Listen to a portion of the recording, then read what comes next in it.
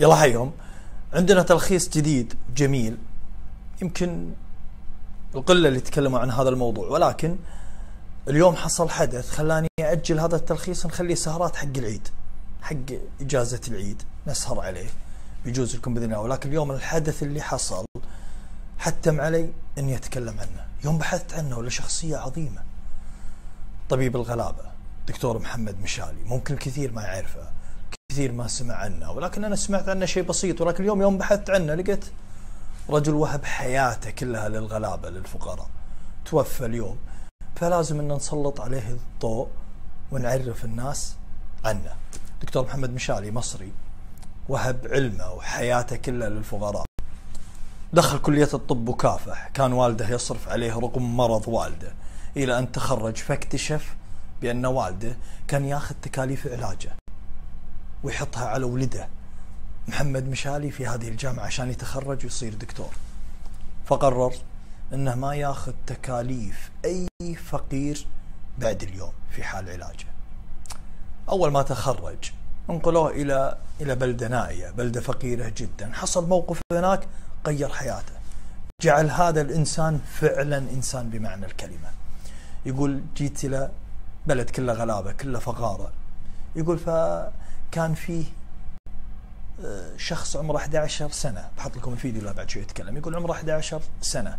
كان مريض بالسكر هذا اللي عمره 11 يقول فكان يقول حق أمه ما جاته نوبة السكر فكان يقول حق أمه أعطيني إبرة الأنسولين. قالت أمه أنا ما عندي فلوس. أنا عندي فلوس بس عشان أطعم أخوانك عشان أشتري لهم طعمية. أنا لو أعطيك الفلوس هذه أجيب لك إبرة الأنسولين أخوانك ما راح يلقون شيء يأكلونه. فانهار الولد. يقول صعد على السطح ولع بنفسه فبلغ الدكتور محمد مشالي بسرعة بسرعة في ولد محترق يقول جيت شفت المنظر ولا شخص عمره 11 سنة قاعد يحترق يقول خذيت البطانية وطفيته. يقول كان يقول حق أمه وأنا أطفيه وأنا أحضنه. يقول كان يقول حق أمه أنا بذبح نفسي عشان ترتاحين. من مصروف الإنسولين وتقدرين تصرفين على أخواني وياكلون. يقول موقف جدا أثر فيني.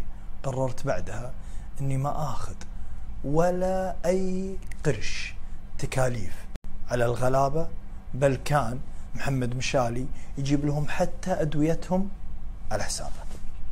كان في طفل عنده 11 سنة 11 سنة. كل ما افتكر الحكاية دي اعيط عنده 11 سنة مريض بالسكر مريض سكر فبعدين قال لأمه ماما هات لي حقنه الانسولين أحسن دايق أنا قالت له يا ابني لو جبت لك حقنه الانسولين ولادك مش إخواتك مش هياكلوا.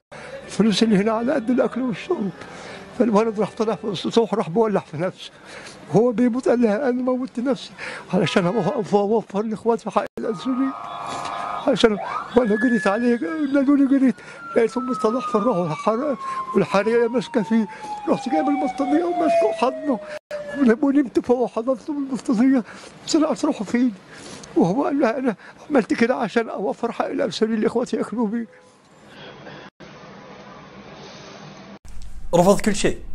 رفض العيادات الخاصة رفض العيادات الفخمة رفض المستشفيات الخاصة رفض الملايين رفض رفض الفلوس من أجل الغلابة. يقول بأن والده قبل موته وصاه. قال له يا محمد يا ابني أوصيك لا تأخذ حاجة على الغلابة. فقضى بوصية أبوه. ما زال في الدنيا خير والله يا أخوان. ما زال الطيبين اللي مثلكم شرواكم واجد. شوفوا شلون تنازل عن كل شيء. راح أوريكم بعد شوي عيادته شلون؟ ممر صغير جدا وقاعد فيه هذا الدكتور الكبير العظيم. شلون جالس في هذه العيادة؟ آه، البرنامج الإماراتي المشهور آه، قلبي اطمن أو طمن قلبي أعتقد. الإماراتي القيث اللي يفتر. وصل إلى الدكتور محمد آه، مشالي وجاب له عيادة جديدة عشان ينتقل لها لكنه رفض. لازم أجيب عربية كبيرة مش لازم أجيب بدل على أعلى مستوى مش غاوي لبس مش غاوي مثلا. يعني أنا مش غاوي غير حاجة واحدة بس القراءة. بس بس. القراءة والعمل في العيادة. غير كده ماليش أي حاجة ثانية عرضت عليه الكثير من مستشفيات مصر انه يجي يشتغل عندهم ولكنه رفض طبيب الغلابة معروف عالميا يعني يستطيع إنه لو يرسل سيرته الذاتية للمستشفى في العالم إنهم يوافقون له. ولكنه رفض رفض الملايين ورفض هذه الأمور كلها رفض الدنيا من أجل الآخرة.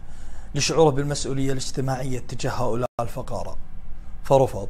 وقعد في هذه البلدة.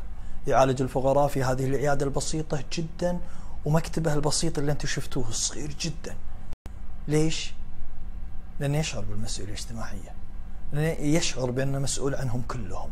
فكان الكشف عنده بعشرة جنيه. عشرة جنيه طفسة وإذا ما عندك بلاش. وإذا ما عندك تجيب دواء هو يتكفل ويجيب لك الدواء. شوف الإنسانية الكبيرة العظيمة اللي موجودة في هذا الإنسان. قلبي يطمن برنامج قلبي يطمن أعتقد اسمه اللي هو برنامج الإماراتي. شنو سوى البرنامج الإماراتي؟ الله يعطيهم العافية. سوى إنه جابوا عيادة جديدة مجهزة خالصة وفخمة جدا لهذا الطبيب الغلاب. تعال واجلس فيها وعالج الناس ب 10 جنيه نفس ما أنت بس تعال اجلس فيها الفخمة. فجوا جلسوا برا وطلبوه إنه يطلع من عيادته عشان يصورونه. طلبوه قالوا روح وقولوا له ممكن تخرج. راح حاول فيه قال أنا مشغول عندي مرضى وهذا مراجعين بعدين. انتظروا وانتظروا ماكو فايدة. قالوا له قول له في واحد يبيك برا. راحوا دخلوا عليه. يا دكتور محمد مشالي بعد إذنك في شخص يبيك برا. قال طيب أنا عندي مرضى عندي غلابة.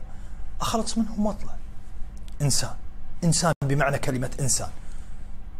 إلى أن طرشوا له واحد دخل عليه وقال له لو سمحت في شخص طايح برا محتاجك. طلع يركض بسرعة شوفوا شلون إلى أن مسكه مقدم البرنامج. قيت وقال له أنا أنا اللي طلبتك. كان يدور يدور اللي طايح وين. شوفوا ورجع لكم. بعد أن هذا مقدم البرنامج وعطى الدكتور محمد مشالي روشتة. أه وصفة أه وصفة العلاج بمعناها ولكنه ما كان فيها وصفة علاج. هي كانت مكتوب له بأن تم تأسيس عيادة خاصة له متوفر فيها جميع الأجهزة اللي يحتاجها. بس يجي ويجلس الدكتور محمد مشالي الله يرحمه ويستقبل مرضاه مراجعينه. ولكنه رفض. قال أنا سأبقى في هذه العيادة إلى أن يتوفاني الله. شوف المقطع. كان دائما يردد أنا نفسي أموت وأنا بعالج المرضى. ورحل طبيب الغلابة. مو قلت لكم الدنيا لسه بخير. فيها الطيبين الكثار اللي مثلكم وشرواكم تفاءلوا بالخير. نسأل الله له الرحمة. اللهم إن كان محسنا فزده إحسانا وإن كان مسيئا فتجاوز عنه. حبيت أذكره اليوم بهذه الفقرة البسيطة جدا لأنه يستحق منا أن نتوقف عنده وأن نتكلم. في شيء إيجابي شيء يرفع من معنوياتنا أن الناس لسه فيها خير. بل الناس الكثير فيها خير ولكن للأسف اللي ما في خير هو اللي قاعد يظهر على الصورة. أسأل الله له الرحمة وتصبحون على خير. سلام عليكم.